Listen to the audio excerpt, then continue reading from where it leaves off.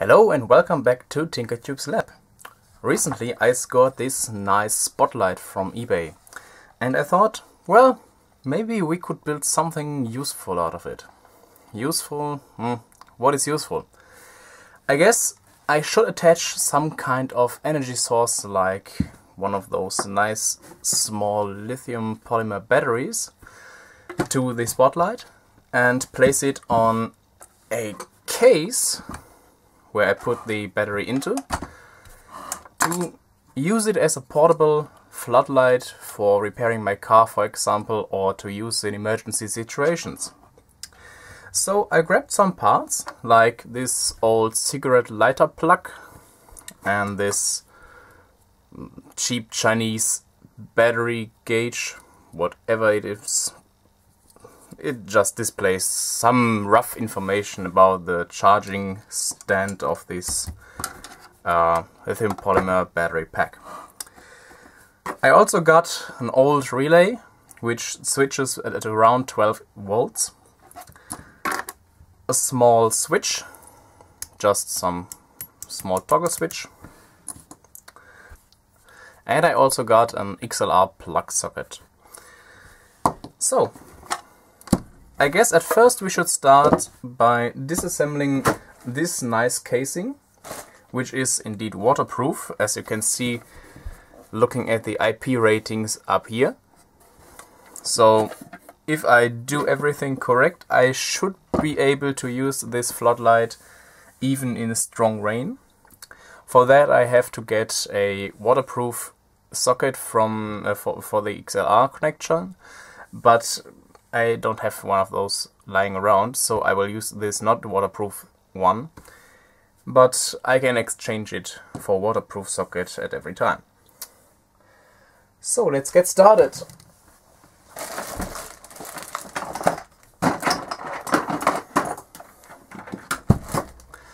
At first I disassemble this case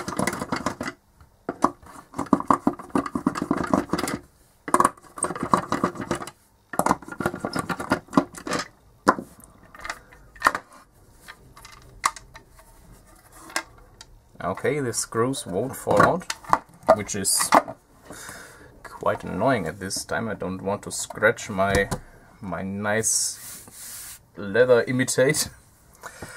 Uh, but whatever. So, let's place this thing around. Um, I show it at a slight angle so you can see what I'm doing here. I am trying to place it at the back side of this casing because as you can see the floodlight has some weight around here. So I don't want the whole assembly to be like ah I'm sitting nice here. Oh there's a slight breeze of wind. Oh I have to fall. Bams. That is not what I want so I assemble this one a bit shifted to the back to get a nice even dissipation of the weight from the floodlight around the casing. So let's... I, I'm just eyeballing it to the right position. Take a marker and mark the spots where I have to drill holes.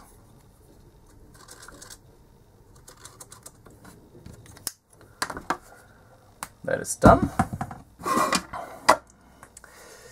Now we should choose mm, I would like to use M4 screws. Maybe even bigger than that. Let's take a look. What do I have? Well, maybe we should choose M5 Oh, that looks nice just found those screws without screw heads at whatever do you call those. Um, but I don't think I will use those. Um, yeah I guess I will try to use those small flathead here. They have a quite big screw head, so I don't have to use any washers here. Maybe they're a bit too short, we will see. Just try it. So I choose M5. What size of drill I need for M5? I don't know. Let's measure it.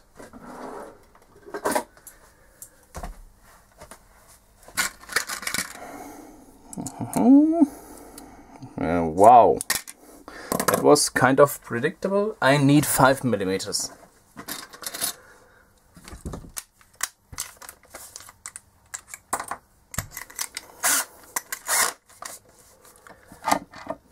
No need for center punching. Because this uh, case has a rough structure on the top, I don't really don't have to use a center punch. Drill stays exactly where, it, where I want it to be. Some nice holes, at least from the outer side.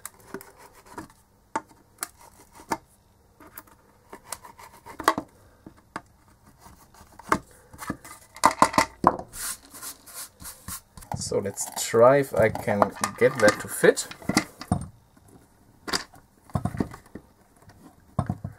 Yes, it fits. Snugly. Which is exactly what I wanted. So. Are you long enough? I hope so. Uh, looks that looks quite okay. At least it's long enough to try it.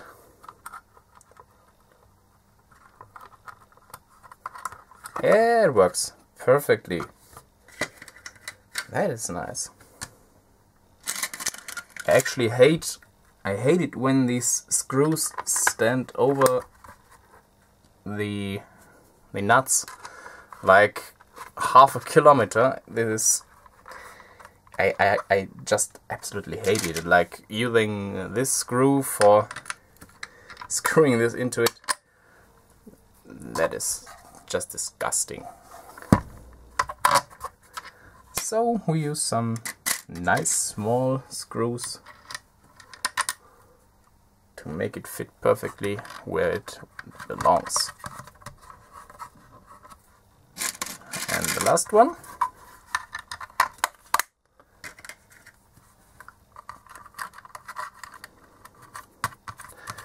I'm just tightening it by hand for now.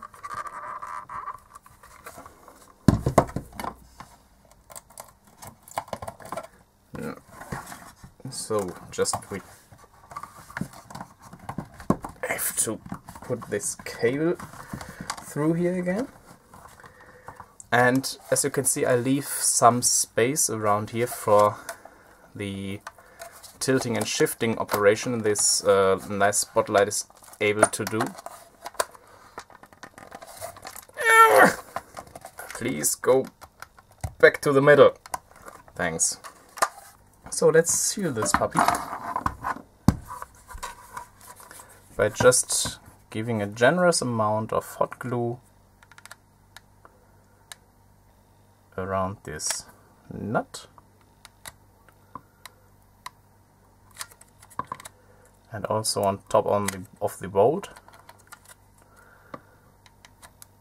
we could just install the XLR connector um, by the way, I chose a three-pole XLR because I want to use this uh, self-made lithium battery pack I made a video of.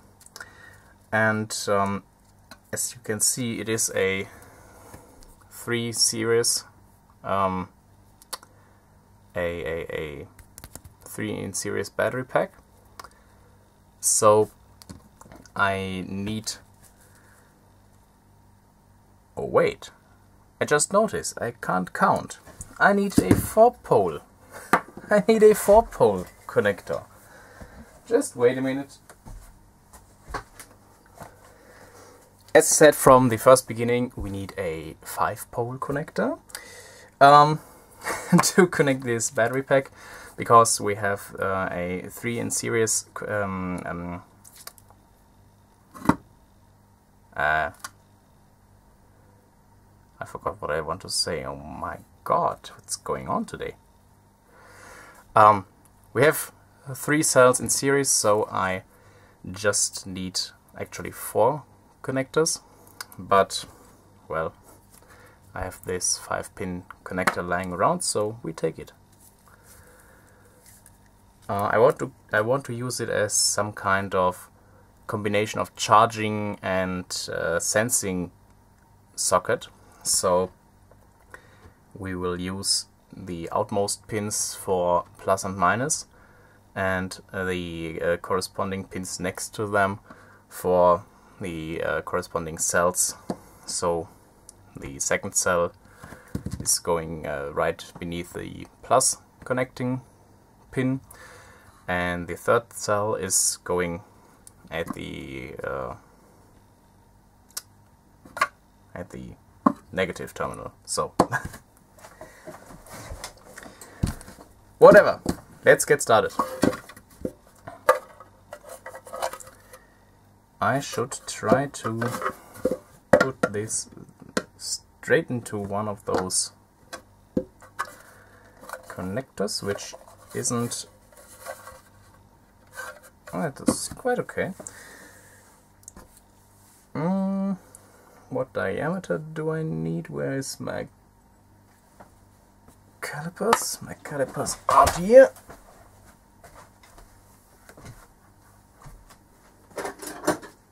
Ah. My calipers are here. I'm just blind. 19 millimeters. guess for 19 millimeters I have something nice to use.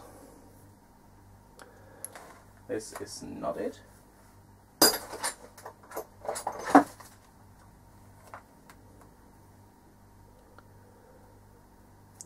Twenty point four. That's quite okay. Close enough.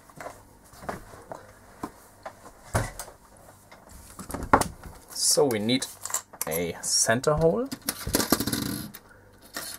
I use a 3 millimeter drill for it.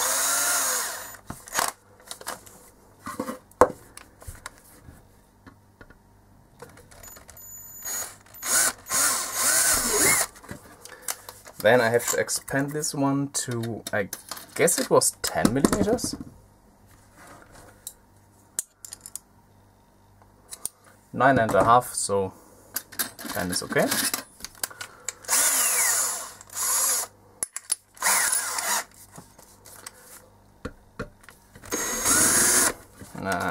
I have to use one more step in between. Just because I don't want to break this uh, this sealing thing out of the case. So we have to be some kind of gentle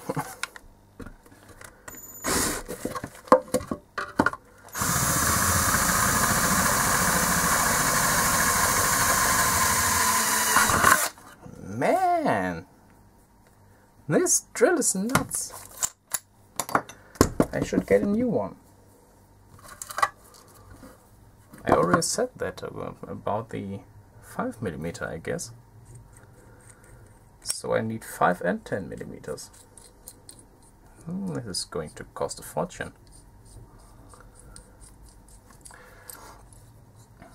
I actually don't know what this thing is called in English.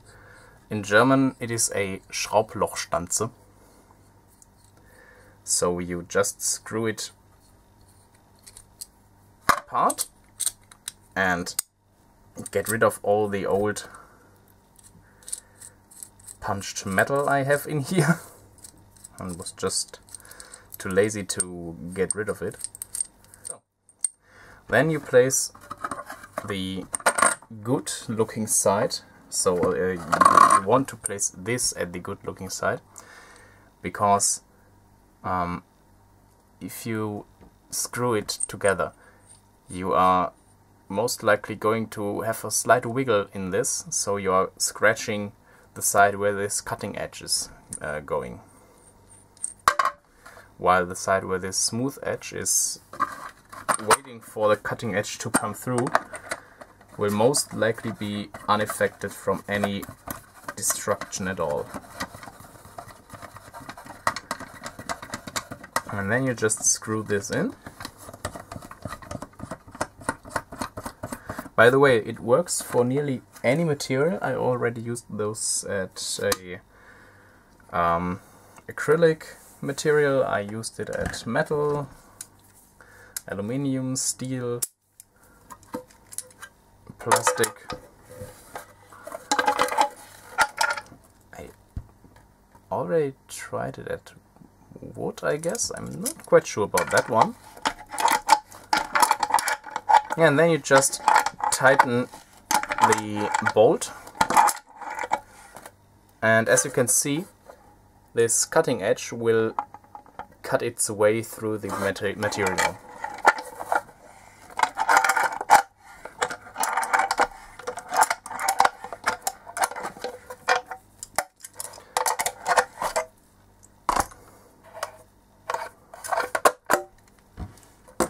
And we have a perfectly round, good fitting hole for our XLR connector. So, let's make some holes. Three and a half millimeter for M3. I don't have 3.2, sadly. I guess I can get in there quite well. On the other hand, let's do it. I need some wiring.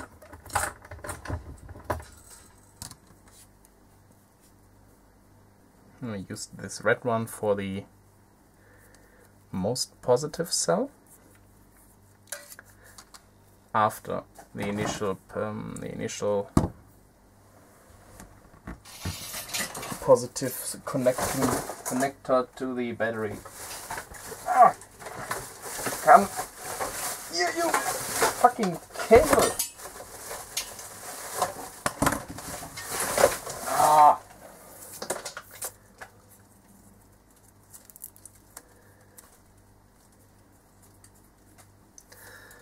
There we got some nice thick cabling which I will use for the internal connection. I'm trying to pull it out of the isolation, which works quite well. So,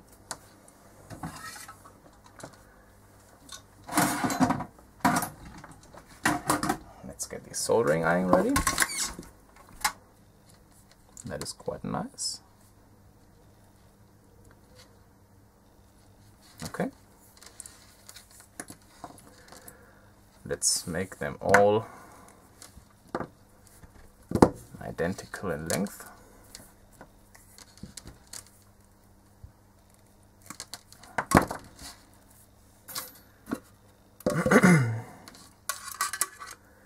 and just feed them through here. Or may maybe I should, yeah, I should place some hot glue around first to give it a good seal. While we're waiting for the hot glue gun to be heated up again, I will assemble this little switch. Mm, where am I going to place it? I'm not quite sure whether I should mount it around the top. Now that wouldn't be so good because uh, this isn't a waterproof switch. So I should mount it also at the at the front through one of those um, connecting points, whatever that is called. So let's measure this one. It is 6 millimeters in diameter. Again, drilling a center hole.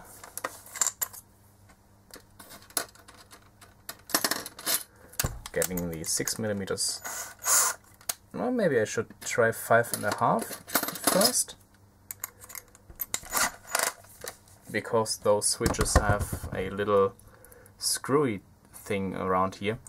And maybe I can screw it in to give it a more tight fit because I can't get this uh, I don't know if you can see it. There's a groove in this uh, in this thread here.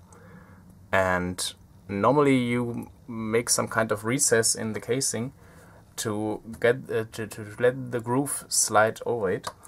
And um, so that will prevent the switch from rotating like this while being mounted. I can't build something like that, so I will just try to give it a really, really tight fit.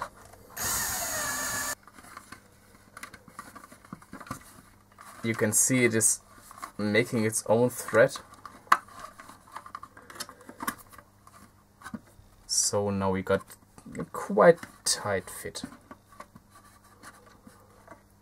It's not as tight as I wished it to be, but it is quite okay.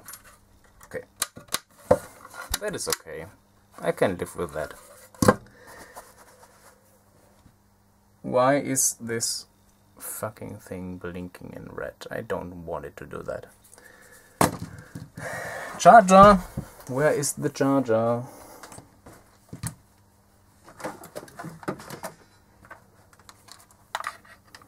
There is the charger.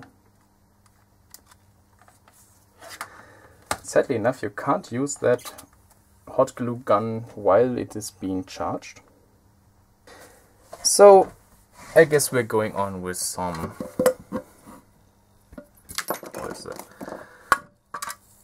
Some assembly work.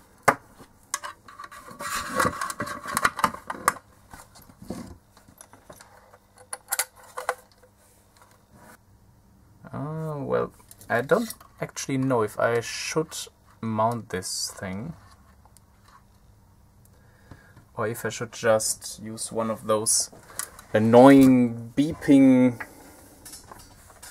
you know what I mean this uh, where is it one of those which are just a real pain in the ass because they beep like hell I'm not quite sure. This would actually be easier to mount in a waterproof way. So maybe I, sh I should yeah, I should go through the effort to do this. Oh well. Where should I place it? I should place it. Hmm.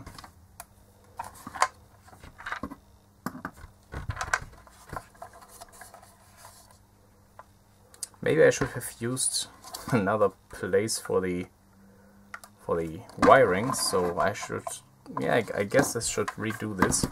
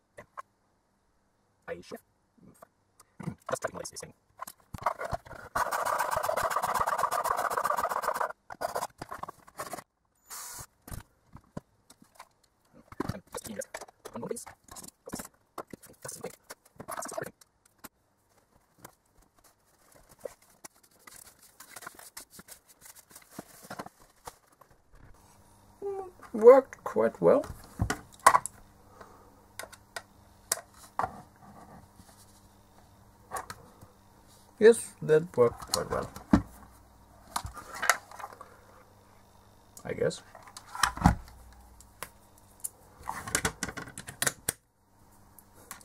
as you can see, I'm, I really suck at metal, in Anführungszeichen, at metal works and plastic works and all that stuff.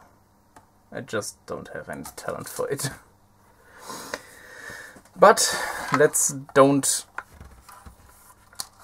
uh, get too frustrated about this. Drill a new hole. Yeah. Are you ready? Yes, you are.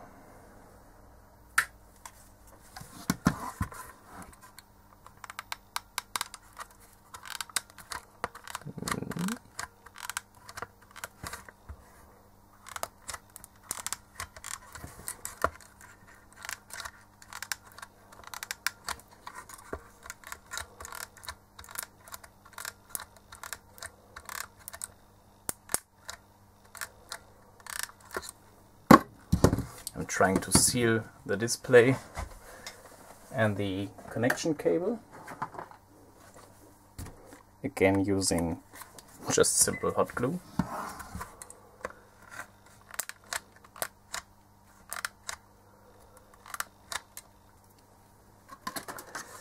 Now we're going over to the connection work So if you want to find a wiring diagram for this whole assembly, you find a link down below to my written blog and there you can find the whole wiring assembly and some additional hints and tricks what I've done here. So if you want to build something similar like this, just take a look. Could be quite interesting I guess.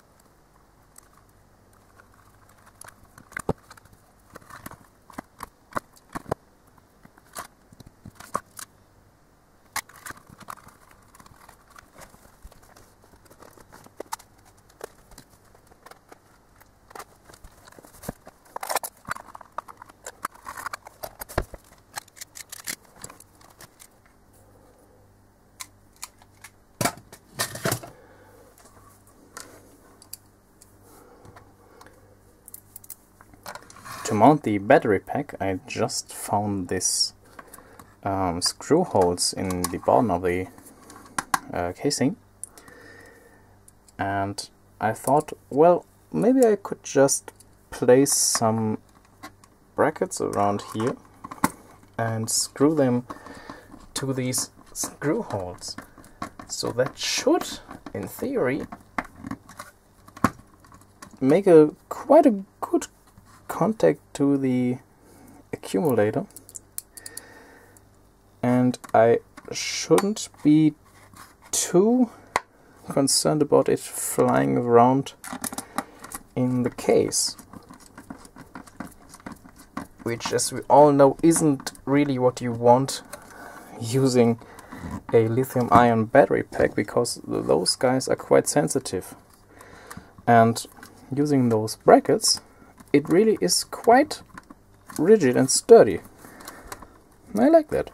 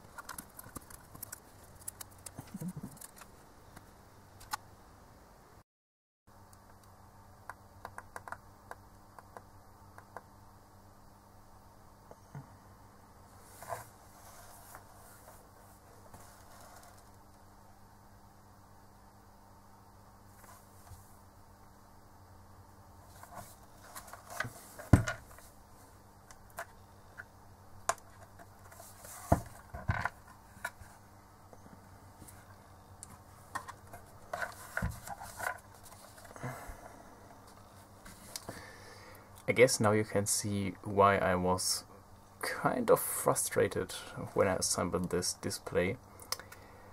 I assembled it upside down. Yeah.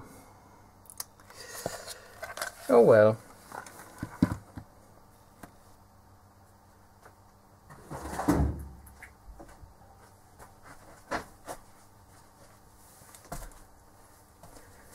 I decided to use another push button switch to um, give this um, the, the status display just some kind of momentary option because I don't want it to drain the battery by just showing how much capacity is left. So I will use this push button and uh, solder it in between the ground wire which is going from the LiPo pack directly to the um, indicator. It's getting kind of messy in here, so let's grab some decent colored cable straps and just tie all this stuff together.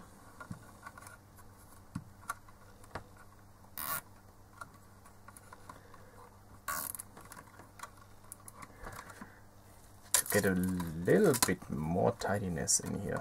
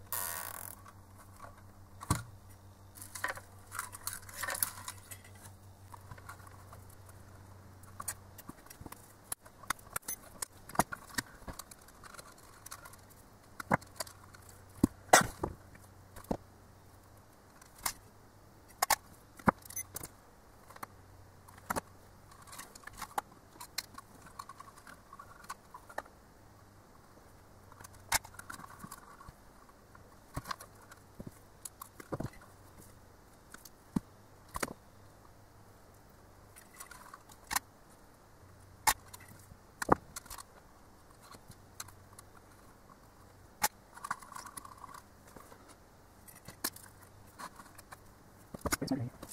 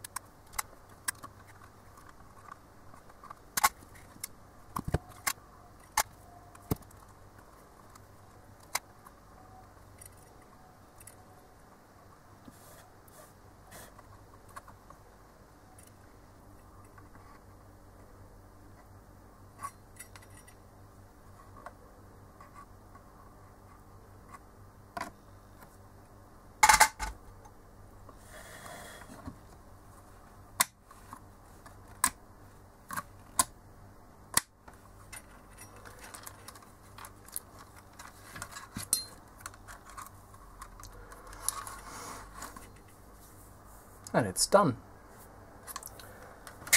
I made some design changes.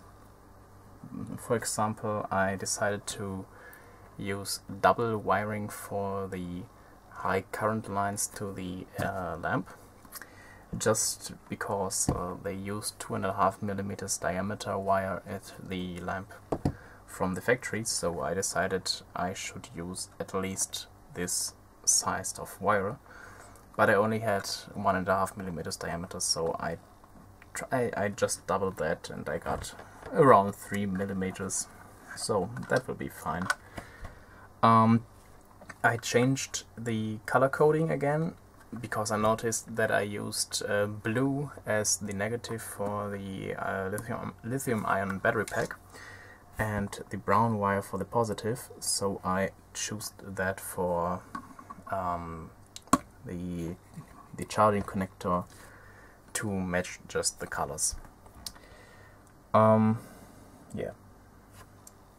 Uh, why I implemented this knob I already told you because I didn't want to drain the battery from just the charge indicator so I implemented this knob to just uh, this this knob this push button to just uh, have a momentary function when I need to know how much capacity is left. Yeah, and that is actually all what it is. Now I just have to glue some stuff together, make some isolations. For example, I, I want to place a good amount of hot knot around this relay to keep it from loosening up. You see I uh, secured it by using this screw, this extra long screw which I just screwed into one of those mounting holes. Um, I will place some glue around this button. It actually has a, um, a rubber gasket around it, so I don't need to seal it, but I wanted to keep it in place because the thickness of the casing is just a little bit too much to snap it in place correctly. Um,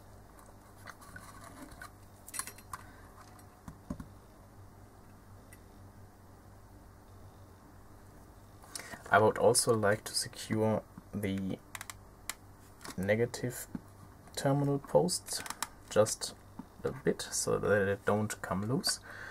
The same goes for those mounting brackets for the uh, lithium ion battery pack. So I'm just being really generous using this hot glue here for the, the whole uh, purpose that it, I don't want to come anything I don't want anything to come loose at all. Oh yes, and I nearly forgot I had to place a big amount of glue around those XLR connector contacts mainly to keep the cables from rattling.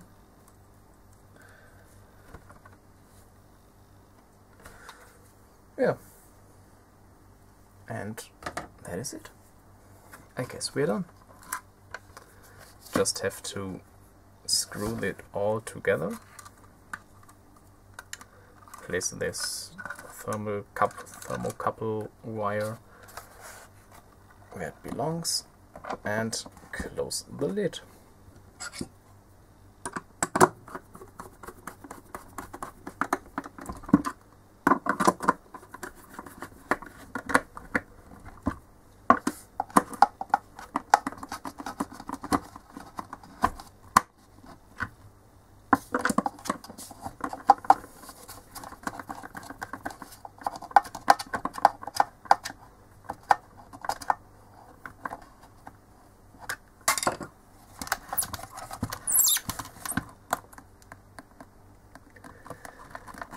there it is, our own homemade lithium ion powered emergency flashlight.